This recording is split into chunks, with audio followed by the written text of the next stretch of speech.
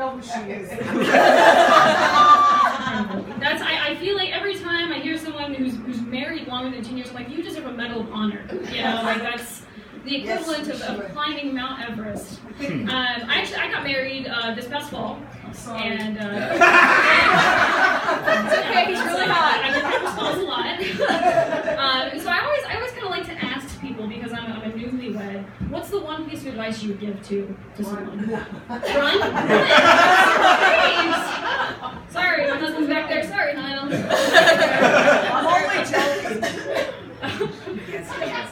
Uh, no, the, the funny thing is when I when I told people I was getting married, like, why are you? You're so young. Why are you doing this to yourself and, and tying it? They're, they're just this table is just having so much fun. Let you guys run the show. We tried to run. That's good, good audience, good audience. So no, I, when I when I got married, um, people were like, "You're so young. Why are you tying yourself down to, to someone such a young age?" Um, and it was it was actually at the point where during my reception, a girl challenged me and uh, wanted to like start this debate as to why I felt the need to legally bind myself to someone. Uh, and she wasn't even a friend; she was a plus one. I was like, that seems like a really. It's really, really strange. And it was like I got kind of put on the spot, so I was like, I don't love, I guess. Like I don't really, I don't really know. Um, to be honest, though, I think I feel like it was a smart move on on my part. Uh, is everyone familiar with Tinder?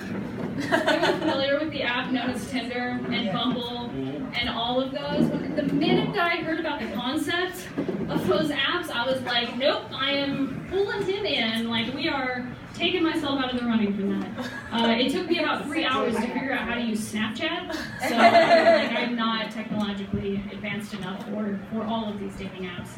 So, uh, but no, my husband, he's, he's a fantastic guy. Um, first off, he, he lets me tell him jokes all day, every day. So, can we give him a round of applause? Uh, and, uh, They get funnier every time you tell them, darling. Yes, dear. Yes, dear. Bitter comedy one. uh, so it's, it's going, it's going great. And I'm sorry, I'm kind of like my back is to you. So we- Okay. Um, so, uh, but I knew I knew that he was a keeper the minute that I showed him a picture of my sister, who just so happens to be insanely beautiful. And I kid you not, he was literally the first man who did not immediately respond with, "Well, hello there." And I was like, this guy, it was so shocking to me that I was actually, for a little, I was like, is he gay? Like, what is going on here? So, but it turns out he's, uh, he's just a nice guy. And uh, on that note, I would like to add that nice guys do always finish last. Let's go, Brendan. Well done. Yeah. Gotta give him some credit. Uh, but no, growing up with the sister that I did, people used to say when we were younger that she looked uh, like a young Jessica Simpson, which you know was like the sex icon of the '90s. I, on the other hand, kind of looked more like a Jewish Honey Boo Boo. with the whole situation, I was kind of just sweating in all of my childhood photos, so uh, it was it was definitely rough. Um, fortunately, I did develop some good coping mechanisms as I got older. Uh, my favorite go-to one was to kind of like celebrate her misfortunes, you know? uh, sort of like when a, when a coworker gets a promotion that you really want, and then like the next day they get in a car accident, and on the outside you're like, oh no, but on the inside you're like, oh yeah, you know? that type of thing. So. Um, so she actually, my sister got pregnant at the at the age of 16, which in Texas, we're from Texas, and that's actually really normal. Like pretty girls just kind of start popping out babies around that age. Uh, but my family was not having any any of it. They were like really upset about the whole thing. You know, like what are you ruining your life? What are we gonna do? I, on the other hand, was like, bring on those stretch marks, the baby weight. Like, let's just put this up on 16 and pregnant. You know, I just want I want the whole world to see this catastrophe happen. Uh, so and but and I know that makes me sound like a horrible sister. Um, I'm I'll admit that, but you'll be happy to know that it completely blew up in my face. Uh, she did have a child, and she's seven years old now. And I know you're not technically supposed to say this, but that little girl is a bitch. I know that's a little rough, but she's she's uh, it's really it's really bad. And I could I recognized the, the signs like something was wrong when from a very young age. Uh, she went through this this weird phase where she would just kind of like walk around to like tables and shelves and like just knock stuff off and like plants and pictures and all that kind of stuff, which is actually that's a fairly normal phase for toddlers to go through. Uh, what's not quite as normal is when they maintain eye contact while doing it. Uh, I I'd be like, oh, don't do that. And she would just look up at me with like this slight little grin on her face. Like, just slowly. At that moment, I was like, we have the devil's child on our hands here. Not, I'm pulling myself out of Aunt of the Year running, so.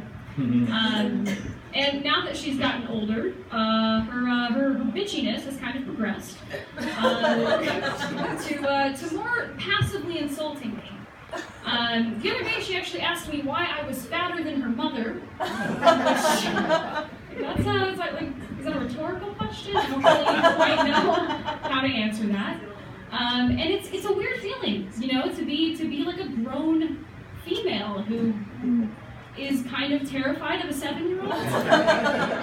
Uh, my birthday was a couple of weeks ago, and I, I actually I got a 24-layered cake. It's it's a 24 layer chocolate cake. You can get it in Manhattan. I just did it because of the absurdity of that. Like, who actually needs that? I mean, I do, obviously. Everyone. And, yeah. Thank you. Thank you. I'm not the only fatty in the room. All right. Um, um, and and most kids, if if you showed them this 24 layer chocolate cake, I feel like they would be like, oh my gosh, that looks amazing. I was facing with her. I showed her the cake and she was like, ew. I need some fruit. I was like, oh my, my goodness. My goodness.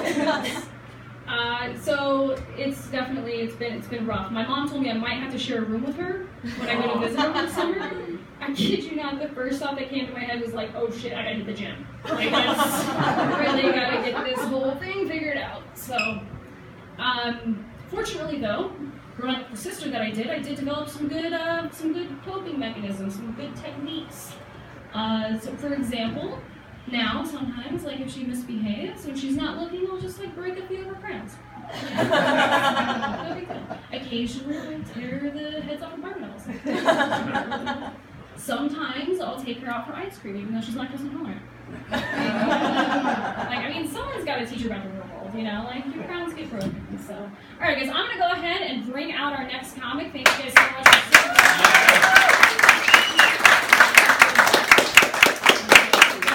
through the night. He, he's a wonderful friend of mine, super, super amazing guy, hilarious, performs at venues all over New York City. City. Give it up for Pete Burdett. Thank you very much, guys. Keep going for your host, Brandy.